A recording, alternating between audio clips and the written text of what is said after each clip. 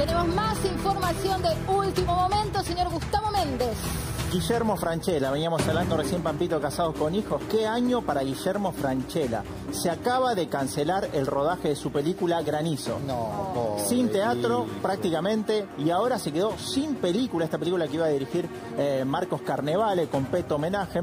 Se iba a hacer, se iba a empezar el 6 de abril, se pasó para el 13 y ahora desde la producción, esto es un documento privado de la producción, enviaron un mail a todos para avisarles que la película está totalmente suspendida y sin fecha de inicio de rodaje. Nuevamente este año, por lo menos este año, no se haría.